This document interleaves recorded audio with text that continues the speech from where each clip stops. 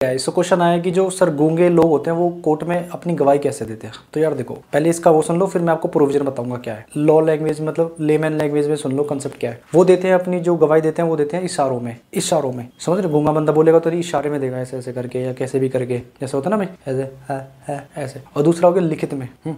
जैसे मान लो, अगर वो पढ़ा लिखा है तो वो लिखित में देगा। अगर वो अनपढ़ है, यानी कि ना वो लिख पाता, ना कुछ कर पाता इलिटरेट है।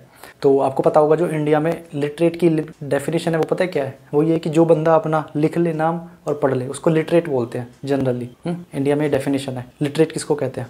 तो जो बंदा या तो अगर वो लिटरेट हुआ तो लिख देगा। अगर वो लिटरेट नहीं हुआ तो इशारे करेगा इशारे ठीक है? अगर मान के चलो उसके इशारे किसी को समझ नहीं आ रहे आम इंसान को समझ नहीं आ रहे तो फिर स्पेशल उनके एक्सपर्ट की ओपिनियन ली जाती है। एक्सपर्ट्स एक्सपर्ट्स को बुलाया जाता है कि भाई बताओ ये क्या कह रहे हैं ऐसे इशारे में क्या करते हैं। होते ना जैसे गूँगे लोग होते हैं ऐसे करते हैं।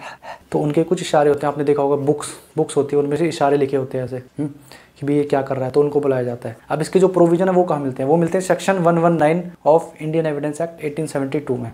डम्ब विटनेस के बारे में जहाँ पे बात की है। डम्ब मतलब गूँगा होता है। तो नेक्स्ट थिंग आती है कि जो इनका जो एविडेंस है जो विटनेस अपनी गवाही देता है वो कौन सा एविडेंस माना जाएगा? हालाँकि वो लिख के दे रहे हैं समझ रहे हो? लेकिन जो वो औरल वो माना जाएगा औरल एविडेंस माना जाएगा। हालाँकि वो लिख के दे रहे हैं इशारे कर रहे हैं पर जो उनका जो एविडेंस है ना जो वो विटनेस की जो गवाही ववाही दे रहे हैं वो सब वो औरल एविडेंस में काउंट किया जाएगा कंसिडर किया जाएगा। Okay so I hope it is clear bye